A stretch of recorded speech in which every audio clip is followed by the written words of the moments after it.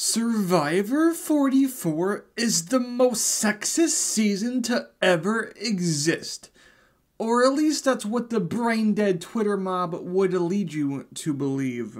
Now, if you're confused on why the goofy goobers over at Twitter headquarters think that this is the most sexist season to ever exist, I'll do a little previously on Dragon Ball Z and recap the first four episodes for you.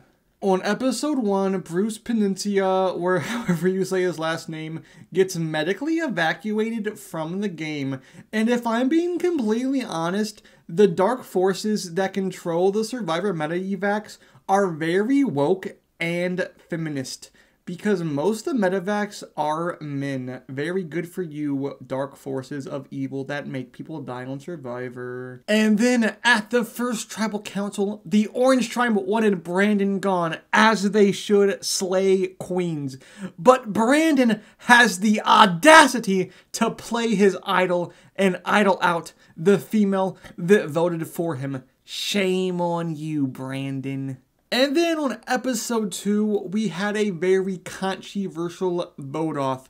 They voted off Helen, who is an Asian female. And Asians always get voted off early on Survivor, except for the two that won. But they don't matter. We only care if you're Asian and get voted off early here, okay, pal? And then comes episode 3. Oh boy, this boils my biscuits just thinking about this vote off. They voted off Claire, the black Jewish girl. Can you believe that? And why? Just because she didn't compete in any immunity challenges. That's such a bull reason. Like, vote off Danny. He's white and a male. That's way more reason than because she didn't compete in challenges. Like, bruh, what, that, that doesn't make any sense. Like, eh, that's stupid.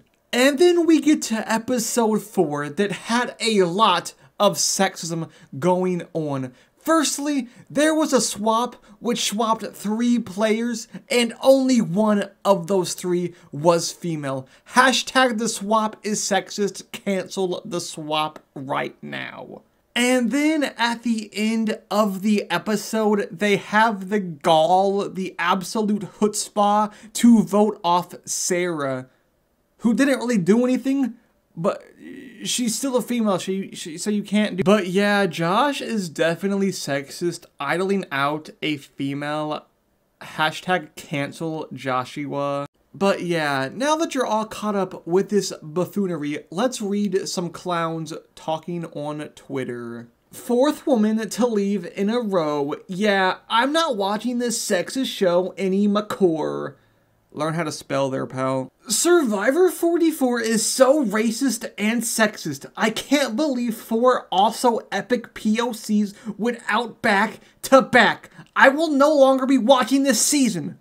I actually kind of like this. I took this picture from the alternate universe where this was the final four of Survivor 44. Turned out to be a pretty great season. You know what? This final four was actually in my dream last night. I woke up with my bed covered in sweat because I was having a nightmare. Four women voted out during Women History Month? I'm gonna be sick. You know, honestly, I didn't even know that Women History Month was a thing. But, uh, thanks for making my day worse, I guess. Stages to my reaction to the anti woman boot order this season. You know, it's funny, these are the exact same faces I make when Carolyn starts talking. My fave survived, but please send a guy out already. She's gonna carry the baton to the finish line for Sarah Wade. I know it. You know, that actually makes a lot of sense. You know, if she was a good player or, you know, met Sarah at all this entire season, you know. But yeah, but yeah, it's, it's, it's a really good point, actually. What did Yam Yam just say? What's his problem? Be careful you're gonna get called homophobic. You can't be saying that kind of stuff. Another woman voted out of Survivor 44. Pain never ends. I think you mean the pain never ends.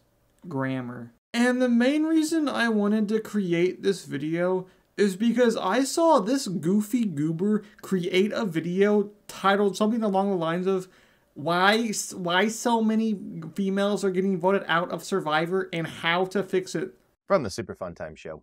And today we're going to be talking about one of the greatest plights that has hit the new era of Survivor. Like, bro, it doesn't need to be fixed. If they get voted out, they get voted out. Like, females are voting out other females. Deal with it. Like, stop being a soy boy. I'm like, like, get over it. Like, where women keep being voted out, including many women of color. Like, I understand he kind of feels like a female with that hairstyle, but like, come on now. Well, guys, that's gonna be the end of this video. If you guys did enjoy, make sure to hit that like button and subscribe, and go tell Survivor Spencer to let me be on his podcast. Yeah.